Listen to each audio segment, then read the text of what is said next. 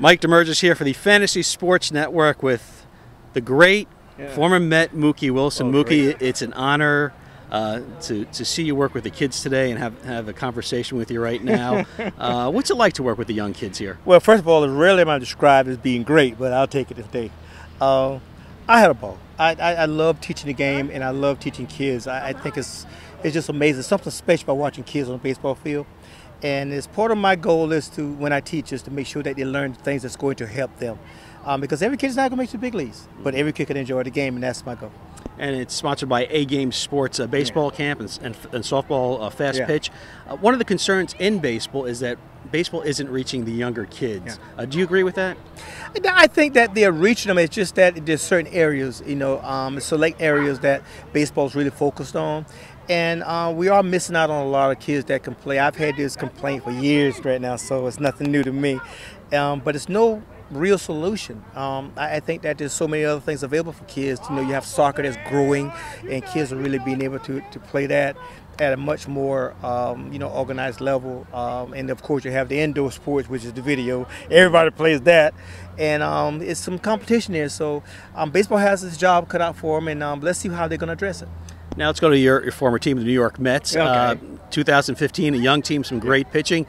But you were part of the Mets when they were re- rebuilding in the yes. early 80s mm-hmm. before they finally won the World Series in 1986. Yeah. Talk about the development and the young players coming at the time Wally Backman, Dwight Gooden, Darryl Strawberry. It was a slow process getting yeah. to 1986. But I see a lot of similarities. Um, the, the one difference is uh, this 15 club has better starting pitching originally when we first started back in the, in the early 80s. We had a couple of guys, but we were mostly, mostly offense. And we kind of did it the other way around um, guys like you know Strawberry and, and the Wally Backmans, you know, and, and, Dwight Gooden, you know, and Kevin Mitchell and those guys start coming along, um, and they add was an addition to myself and Hubie Brooks, you know, whom I love. And um, you were um, lead off. He was number two. Yeah, Hubie. That's my role. We were roommates like that for years, and um, but this year, uh, this club is going in the right direction. I think finally, I think they have a direction that people can see. And um, I want to think now is um, what do we do for offense? And I think that's around the corner. I think that people hear the word patience all the time. Trust me, that's what it takes in this game is patience. You have to be persistent and, and trust the, the, the, direction that you're going to go. During 1983, there was a lot of buzz about Strawberry coming up and Gooden. Yeah talk about and reflect back on the time when Gooden came up and just watching him pitch. He had that Uncle Charlie yeah. curveball, the fastball that just yeah. lit lit up the stadium. I mean, Shea Stadium was electrifying back then. Well, it, it was special. It was a special place. We always said it was a dump, but it was our dump. Mm-hmm. You know, uh, but um, Gooden, um, it was an event to watch this kid pitch. And um, you know, I was, I was, a few years older, and I was in the leagues a couple years before him, and I was, you know, just amazed the maturity that this kid showed on the mound. He was fantastic, and I think that opposing players were intimidated by that.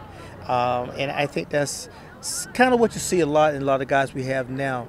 But uh, it was a special time of the year. I mean, we talking to probably the best athletes ever played this game in Strawberry and Good. I mean, and they showed it on the mound. They're terrific ball players. You're amazed at some of his athletic talent. You know, I, I say before, talent-wise, he was probably the best player that I ever played beside. I mean, he was just phenomenal, and I was always, you know, just watching him. I was really envious of him because I wish I had that body. You know, it was unbelievable. Um, this kid was, whatever he did was, you never thought it was enough. You always knew that was more in him, which was unfair, but you know, nobody told him to be that gifted. well, a lot of the comparison back then when they were comparing Darryl to Willie Mays at the time as oh. well.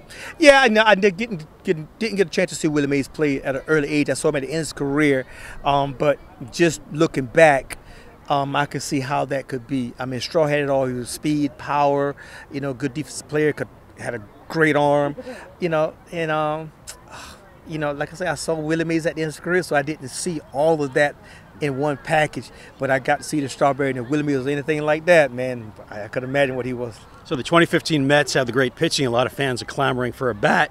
Back in 1983, yeah. the Mets brought over Keith Hernandez. Well, you know, that's what I'm saying. We're kind of in the same situation, and we are looking for offense now. And we brought in Keith Hernandez, and later on we brought in, you know, Gary Carter. You know, we made a couple of other moves before that. We brought in George Foster. We brought Dave Kingman back, and those guys didn't quite solve the problem and um, we're at crossroads again. The question now is, what are we going to do? You know, so let's see what happens. Uh, speaking of what we're going to do, Major League Baseball has the issue with uh, Pete Rose whether to or not let him in the Hall of Fame. And you were talking to the kids out yeah. here on, on, this camp sponsored by A Game Sports that Pete Rose did not have all the talent in the yeah. world. That you didn't need that. He wasn't the fastest. Yeah. Didn't have the most power. Uh, what are your thoughts on Pete Rose? I mean, he, he, had to be the ultimate competitor, being you know nicknamed Charlie Hustle. Well, you know, I, you know, I have people. I have to tell people before they ask me a question about Pete Rose, understand that I'm a fan of Pete Rose. I, I love the guy. I love what he has done on the field. And um, I, think it's unfortunate the situation he's in.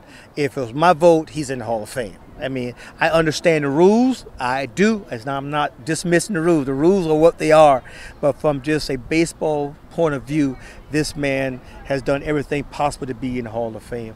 And um, I see sometimes you know you turn a blind eye to some things that happens, and sometimes we have to forgive and move on. And uh, this is one of those situations that I I would love to see him get in the Hall of Fame. So tell baseball fans what you're doing with the New York Mets. Uh, at this point, my official title is um, baseball ambassador for New York Mets. Um, I walk around Citi Field, welcome people to the ballpark, talk to them about a little bit about the Mets, and try to give them some insight on where the Mets are, where the Mets came from. And I do a little roving. I go around the minor league camps and I instruct a little bit, much of what I did today, much about outfield play.